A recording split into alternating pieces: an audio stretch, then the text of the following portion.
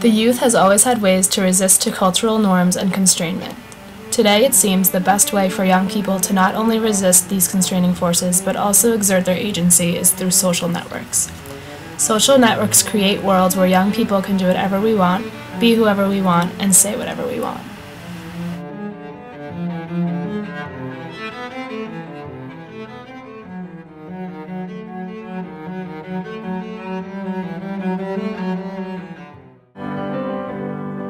Something substantial in order to get the attention of the clubs. Why? Because they're exclusive and fun, and they lead to a better life.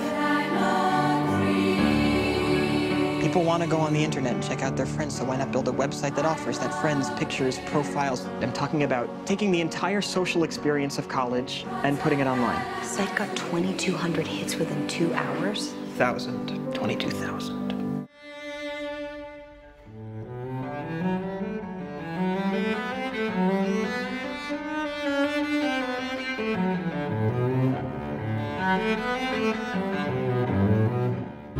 Find me? Hit me on Twitter.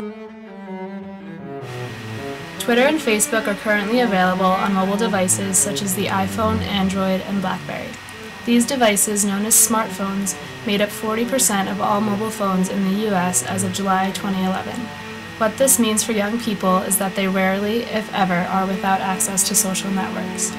In a country where freedom of speech is held at the utmost of importance, having the perpetual freedom to post or tweet whatever comes across our minds, no matter where we are, is viewed as nearly essential.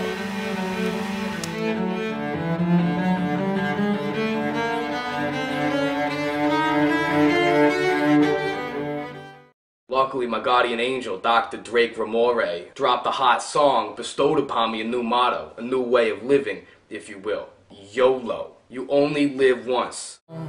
Tonight.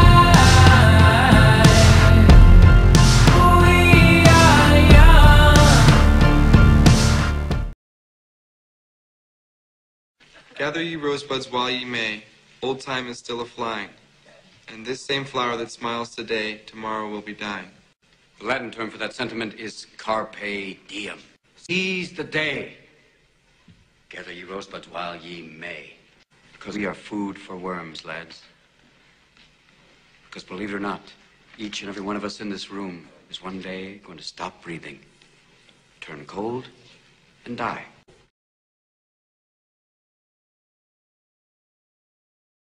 Heavy on the YOLO. It's like Carpe Diem is like seize the day. Like YOLO is like I'm gonna go drink until I can't breathe. YOLO. YOLO, dog. Okay, I think of YOLO as an excuse for us to do things that we might not have done without thinking of it. So it's like not living with the regrets and what ifs and living with, like, thank God I did it because you only live once. What does YOLO mean to you? You only live once. Do Elaborate. What you. Keep- you can keep do anything because though you only live one life. Do what your heart desires. It means doing what you want because it doesn't matter because you're living one. Like, you yo, you only have one chance. Why waste it? Just said, why not? It means just do whatever you can. Oh, yeah, sorry, you And no regret. Wait, what does YOLO mean to you? Uh, you only live once. Does it have any further meaning for you? Uh, just in that, I, I think people utilize it as a way to, to do things, um, you know, to, to say, well, it wasn't really me, I just did it because, you know, I, I took the opportunity. Fucking YOLO.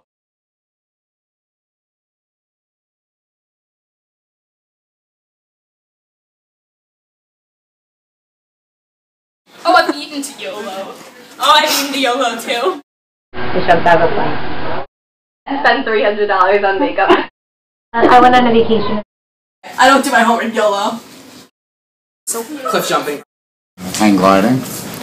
Enjoy the best things in your life, cause you ain't gonna get to live it twice.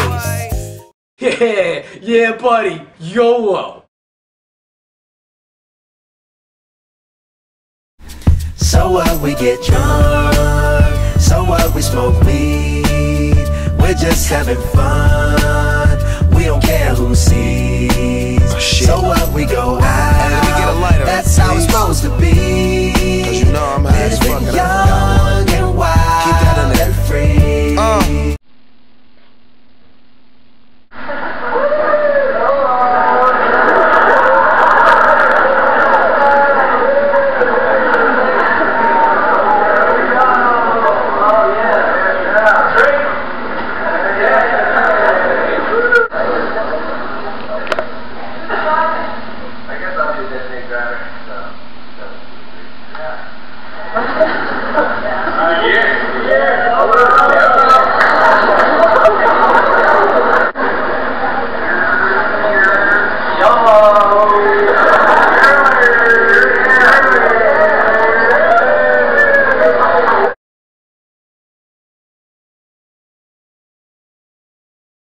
Purpose was really a couple things to heighten awareness um, and to get really school and family to, to get together and communicate and, and make students think about some of the choices or decisions that they make during the prom season. Because I think the nature of teenagers is not to think through what consequences could happen.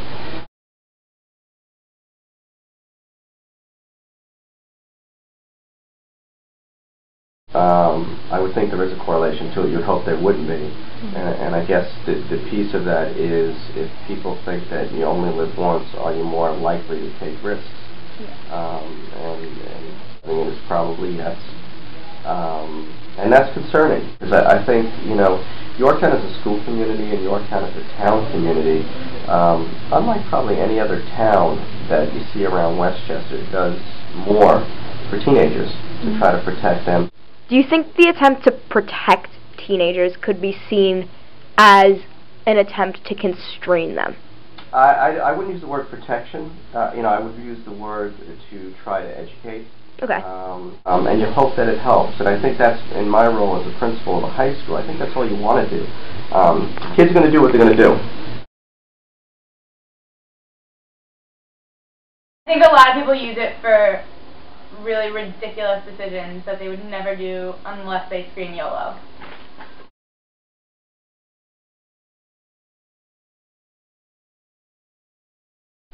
To me, it's an excuse to do reckless stuff that you wouldn't do if you, uh, if, you know, you didn't ha- know that phrase. saying you only live once, that's you could be doing things that endanger yourself or others. YOLO's not giving a fuck about anything. I make bad decisions all day long. That's YOLO for you. But I do think, as a psychologist, it's a lot of the reasons that people partake in repeat behaviors. Because they're experimenting. They're like, I'm only here. I gotta try it. I want to know what it's like. Do you think there's a danger to that? Absolutely. Do you think that could be dangerous? Definitely. You're welcome. Why? Because you die only once, and they forget that aspect of the equation. I have seen some students make some rash decisions and say, ah, YOLO. So I went to visit one of my friends in college, and you know that's like a YOLO situation because you only like you're, you're only gonna do that once in a you know once in a while. So I was there, and I was like, this is a once in a lifetime chance. So I just said YOLO, and then I was like, ooh, and I was having fun. And then the next night I was passed out because of what? Because I drank more than I would have if I um, wasn't saying YOLO. I drank myself into oblivion and made a complete asshole of myself. YOLO. I'll get twisty. Have you ever done drugs, YOLO? No. Yes. Have you done drugs because of YOLO? Yes. I'm taking shots, YOLO. Oh, I'm, I'm YOLO back.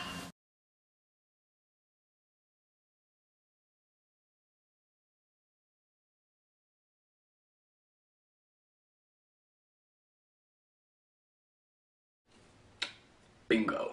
YOLO. As young people, it's our nature to try to resist the many forms of cultural constrainment that are placed upon us.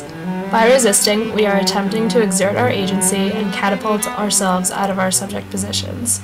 Ironically, the way that we decide to do this becomes a culture all in its own, the YOLO culture.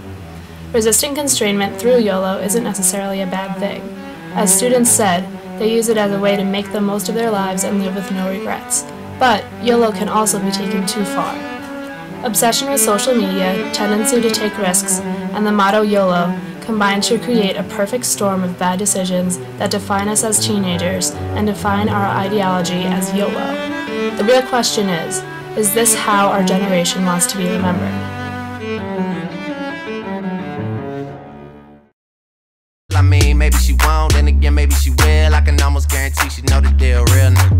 Now she got a photo.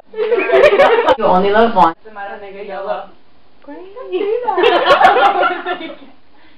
When we bout it every day, every day, every day. Like we sitting on the bench, but we don't really play every day, every day. What anybody say, can't see him cause the money in the way. Real what's up? One time for one time.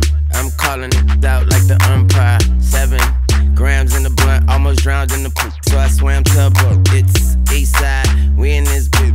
Wishing it would like a tree in this boot. And if a leaf fall, put some in that boot. That's my MO at a beat of that shit. I'm fucked up, tore down. I'm twisted, doorknob, talks to.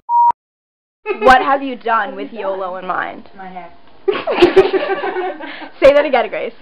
My hair. I'm older. My friends don't say things like YOLO. Do you know what YOLO means? What the hell is YOLO? Have you ever, have you ever had sex to YOLO? I've had sex with you. have you ever done anything with YOLO in mind? Yes, many things. What have you done with YOLO in mind? To- we're gonna block out your Some face. things are better left unsaid. We're gonna block out your face and Why? use your voice. So you That's can tell us what you've done. Okay, um, I've eaten a rabbit.